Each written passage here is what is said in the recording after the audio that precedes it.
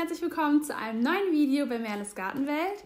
Ich zeige euch heute, wie man Chilis anpflanzt. Das Ganze mache ich mit einer lila Luzi. Das ist eine Chili-Pflanze, die bunt ist und zwar, ich glaube, insgesamt fünf Farben hat. Also einmal lila, weiß, gelb, orange und rot. Und zwar sind das die verschiedenen Stages, äh, wie sie quasi reif wird. Also sie ist erst lila, es hat eine lila Blüte, wird erst lila, dann färbt sie sich weiß, entsättigt quasi, geht dann ins Gelbe, dann orange und dann rot. Die Pflanze empfehle ich jedem, der einen bunten Garten möchte. Ich selber zum Beispiel esse sie gar nicht. Ich habe nichts mit Chilis zu tun, will damit auch eigentlich gar nichts zu tun haben. Aber die Lila Luzi ist so hübsch, dass ich mir die gerne in den Garten stelle und auch gerne wieder in den Garten stelle. Die Blätter müsst ihr euch vorstellen, so, ähm, ja, so rötlich wie rotes Basilikum. Ich blende euch auch noch mal ein Foto ein, das ihr jetzt sehen könnt, wo ihr seht, wie sie im Sommer ausgesehen hat. Wenn euch meine Videos gefallen, würde ich mich freuen, wenn ihr mir einen Daumen hoch da lasst oder ein Abo. Das tut gar nicht weh, geht ganz flott und damit zeigt ihr mir, dass ihr die Videos gut findet, dass ich damit weitermachen soll und dass ihr einfach Spaß habt, das zu schauen und äh, ja, mehr davon möchtet. Dann produziere ich natürlich auch weiter und wir können in diesem Jahr das Gartenjahr gemeinsam bestreiten. Jetzt aber viel Spaß mit dem Video und los geht's!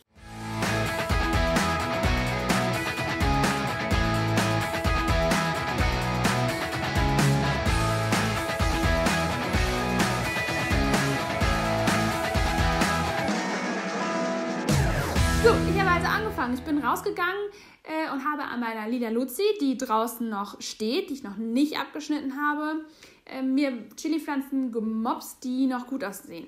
Dabei müsst ihr darauf achten, wenn ihr noch eine Lila Luzi im Garten habt oder auch natürlich jede andere Chili, das könnt ihr quasi darauf anwenden, dass die Chilis, die ihr euch dann holt, noch nicht verschrumpelt oder angetrocknet sind, sondern dass sie noch saftig und gut aussehen. Ich habe außerdem geguckt, dass die Chilis in einem weiteren oder reifen Stadium sind, weil je reifer natürlich die Chili, desto reifer auch das Saatgut und desto höher die Wahrscheinlichkeit, dass auch Chili nachher aus der Pflanze rauskommt.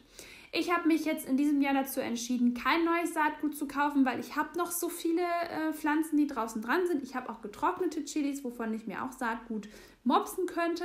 Ich wollte das in diesem Jahr einmal mal ausprobieren, eine alte Chili aus dem vorherigen Jahr ähm, zu nutzen, um das noch nasse Saatgut dann einfach einzupflanzen. Wenn ihr jetzt zu Hause Saatguttütchen habt, dann habt ihr getrocknetes Saatgut. Das ist jetzt circa ein bis zwei Jahre haltbar, je nachdem, wie lange ihr es schon ähm, ja, oder wann ihr es gekauft habt. Dann gelten für euch natürlich die ersten Schritte nicht. Dann könnt ihr eigentlich direkt einsteigen, da wo es dann ans Bepflanzen geht. Für alle anderen zeige ich euch jetzt einmal, wie ich das Saatgut entnommen habe. Ihr kennt es ja wahrscheinlich schon von Paprikas oder anderen Chilis, die ihr schon mal geschnitten habt oder auch Pimentos, kennt ihr ja bestimmt auch alle, die Bratpaprika.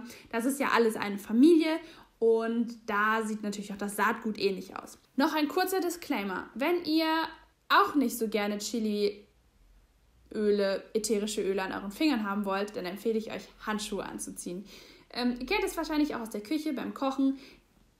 Chili Öl an den Fingern ist nicht so spaßig. Deswegen, ich hatte keinen Bock darauf, dass es mir in die Nase oder in den Mund oder äh, in die Augen kommt. Deswegen habe ich mir Handschuhe angezogen. Dadurch, dass die Lila Luzi recht klein ist, sind natürlich auch die Saatkörner sehr klein oder die Samen sehr klein. Und ihr seht hier, ich schneide erstmal den Stängel ab, dann halbiere ich die Frucht und gucke mir einfach mal an, wie das so aussieht. Dadurch, dass die Pflanze jetzt schon eine Weile draußen steht und natürlich Winter ist, die Pflanze lebt nicht mehr wirklich, müsst ihr einfach darauf achten, dass die Chili nicht von Schimmel befallen ist. Also keine Schimmelpilze, keine schwarzen Flecken dürfen vorhanden sein, weil wenn ihr das einpflanzt, kann es einfach auch sein, dass ihr zwar eine Chili-Pflanze bekommt, die ihr dann aber eher schlechte Chancen, eine ja, große, tolle Pflanze zu werden, wenn sie überhaupt keimt. Deswegen müsst ihr da unbedingt drauf achten. Und ihr seht es auch hier, ich habe welche aufgemacht, die waren eher dunkel, hatten dunkle Flecken. Die habe ich sofort weggetan. Eigentlich hat schon eine einzige Chili gereicht für die Anzahl an Chili-Pflanzen, die ich anpflanzen wollte. Im nächsten Schritt habe ich also mir Erde genommen. Das Ganze, ihr kennt es schon, ihr kennt meine schöne silberne Schale wenn ich drinnen anpflanze, nutze ich die einfach sehr gerne, weil ich kann mir von draußen schnell Erde reinholen und muss nicht draußen in der Kälte gärtnern, weil das ist mir jetzt aktuell tatsächlich auch zu kalt. Und dann packe ich mir einfach die Erde da rein. Ich habe noch so ein großes Holzbrett, das habe ich auch noch mit als Untergrund reingenommen, einfach damit ich nachher nicht so viel putzen muss.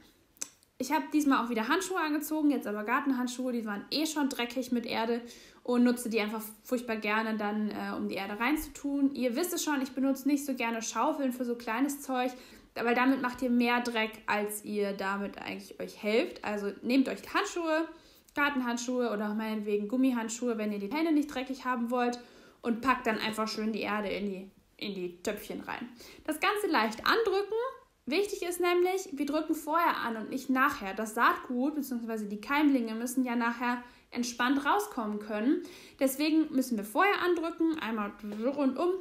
Und dann geht es weiter, indem wir uns anschauen, welches Saatgut denn dann nun wirklich geeignet ist. Ich habe es mir also angeschaut, habe mal geguckt, ähm, welche Samen dicker sind und noch eher ausgebildeter aussehen, als die, die eher nicht so ausgebildet aussehen. Und habe sie dann einfach mit der Messerspitze auf die Erde draufgetan. Erst auf die eine Seite, dann auf die andere Seite. Und habe dann, ich habe mir wieder den Gummihandschuh angezogen, weil der andere leider zu dick war, einfach auf Saatgut reindrücken. Äh, Finger auf Saatgut und reindrücken, so circa einen Zentimeter, nicht zu tief, nicht zu hoch oder nicht zu flach, weil die Wurzeln müssen ja auch nachher irgendwo hin. Und dann äh, häuft ihr einfach so, ich liebe das immer, wenn man dann so einfach diese lockere Erde einfach nur so da drüber macht. Bitte nicht mehr andrücken, einfach so lassen und am Ende nochmal angießen. Ihr seht es, ich habe es mit einem mit so einem Sprüher gemacht. Vielleicht noch eine kurze Anmerkung zu der Erde, die ich benutzt habe, weil ja auch viele unsicher sind, was ist eigentlich mit oder welche Erden benutze ich wofür. Wenn euch das übrigens interessiert, dann schreibt es mir in die Kommentare, weil dann mache ich auch ein Video dazu. Es ist nämlich schon wichtig, dass ihr schaut, welche Erde für welche Pflanze, auch gerade für drinnen. Viele nehmen dann nämlich einfach so Pflanzenerde, Kräutererde und das ist natürlich ein riesiger Dschungel aus Erden. Am Ende des Tages ist es alles irgendwie die gleiche Erde, was halt einfach nur die, die kleine Änderung ist, ist, dass ihr verschiedene nährstoffreiche Erden habt. Grundsätzlich nehmt ihr zum Anziehen von Pflanzen, also Saatgut aussehen und Keimlinge an, heranwachsen lassen, dazu nehmt ihr eher weniger nährstoffreiche Erde, deswegen gibt es auch die sogenannte Anzuchterde. Chilis jedoch lieben Nährstoffe und natürlich hätte ich die jetzt auch aussetzen können in nährstoffarme Erde.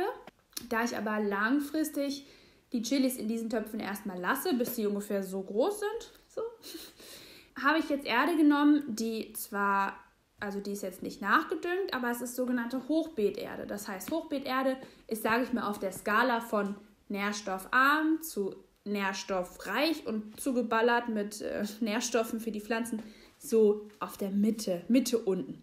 Weil Hochbeeterde ist natürlich erstmal für alle Pflanzenarten geeignet, Möhren wie Radieschen, wie aber auch Kartoffeln. Aber ihr müsst natürlich dann je nachdem, was ihr einpflanzen wollt, noch zudüngen oder aufbereiten. Deswegen habe ich jetzt erstmal diese Erde genommen. Die ist okay für den Anfang und ich muss erstmal die nächsten ein, zwei Monate bis Mitte März nicht mehr nachdüngen, was ganz praktisch ist. Für dieses Video sind wir eigentlich schon fast fertig mit dem, was wir zu tun haben. Ähm, was jetzt noch passiert, ist, dass ich ein kleines Mini-Gewächshaus habe. Das Problem bei diesen Gewächshäusern ist, ihr müsst aufpassen, dass es nicht schimmelt. Deswegen habe ich auch bei meinem Mini-Gewächshaus oben das Rädchen aufgemacht, dass die Feuchtigkeit abgezogen werden kann. Das Ganze funktioniert dann so quasi wie ein Kamin. Es ist natürlich nicht so aufgebaut wie ein Kamin, aber dadurch, dass oben Luftzug ist, wird die Feuchtigkeit rausgesogen und die, die Wahrscheinlichkeit, dass eure Pflanzen schimmeln, ist geringer. Gerade bei dem feuchten Saatgut müssen wir sehr auf Schimmel aufpassen. Wenn ihr also das Gefühl habt, es bildet sich ein Film obendrauf, dann direkt die Schritte einleiten, die es benötigt, um Schimmeln entgegenzuwirken. Da geben wir dann wieder einen pH-Wert rein und so weiter. Falls euch das passiert, schreibt mir. Da muss man so ein bisschen schauen, dass, äh, dass es nicht komplett aus allen äh, Fugen gerät. Aber erstmal wollen wir nicht den Teufel an die Wand malen. Wir nutzen das jetzt erstmal so. Deckel drauf. Stellt euch die Chilis warm. Das ist wichtig. Das heißt, wenn Sonne bei euch reinkommen sollte, wenn es dann mal Sonne gibt, dann stellt die Chili an das sonnigste Fenster, was ihr habt. Und wenn ihr sogar eine Heizung habt darunter, dann stellt mit ganz, ganz viel ähm, Handtüchern oder irgendwie was, dass ihr so ein bisschen Abstand habt, dass es nicht zu heiß wird und schnell austrocknet, die Chili da drauf. Das sollte aber eigentlich kein Problem sein und ich drücke euch die Daumen, dass es euch gelingt, eure Chili-Pflanzen, eure Lila Luzi auszusehen. Ich hoffe, euch hat mein Video gefallen. Wir sind jetzt am Ende angelangt und wenn ihr noch Fragen habt, schreibt es mir in die Kommentare oder meldet euch einfach bei Instagram bei mir. Und ähm, ich wünsche euch viel Spaß, schon im Januar mit dem Aussehen anzufangen. Ich hoffe, ihr seid schon mit dem Basilikum dran und habt auch schon eure Zimmerpflanzen gerettet, so wie ich es euch in den letzten Videos gezeigt habe. Und wünsche euch einen schönen Sonntag. Macht's gut, genießt den Schnee, den ihr noch vielleicht habt. Bei uns liegt der noch. Und macht's einfach gut. Bis zum nächsten Mal. Ciao.